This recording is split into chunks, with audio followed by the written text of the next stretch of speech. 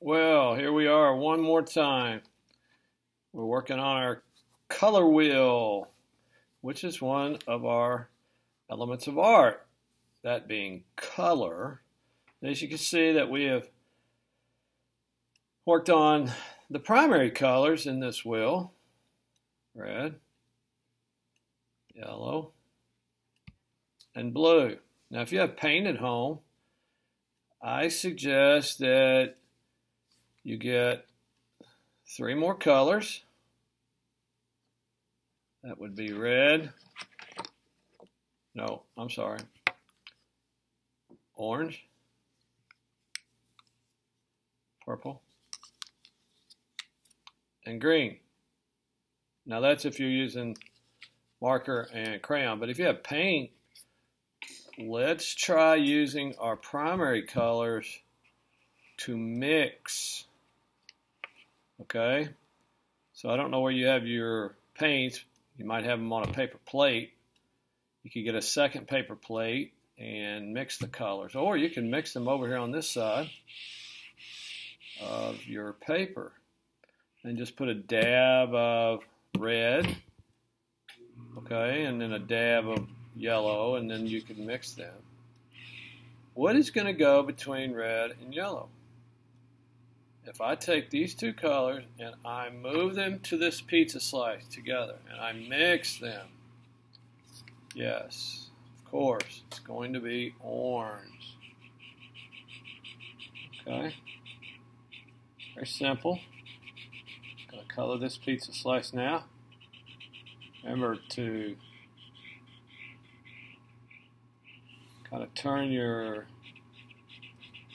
marker on its side, especially if it's running out of ink, and you should be able to, to get a little bit more ink inside of that tip. Now remember, I did this last time. See the tip? I want my tip to stay nice and pointed.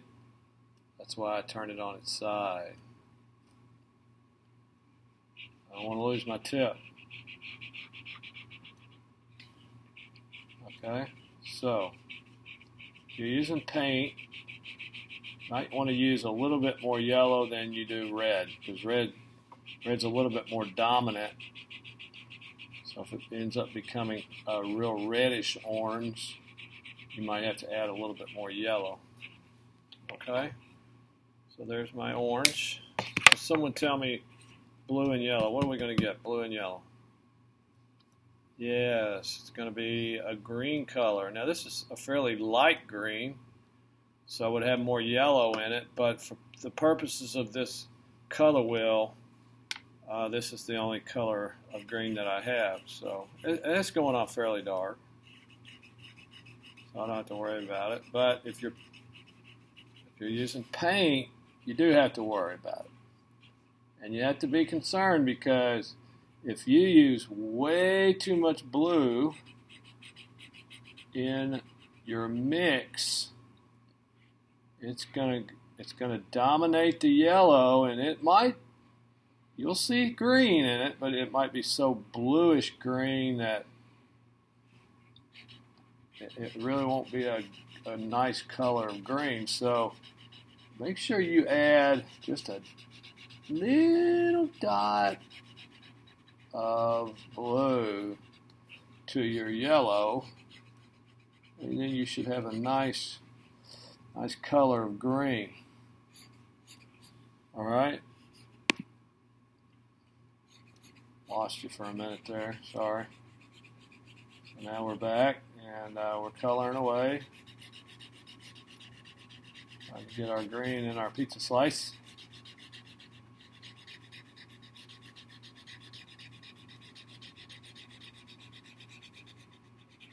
What's something that is green that would go on a pizza? Yes, peppers. Haha, I love peppers. What's something red that would go on a pizza? Yeah, salami or pepperoni. Anything blue go on a pizza? No, no way. Okay, so our last one's going to be what? what color? yes, Poiple.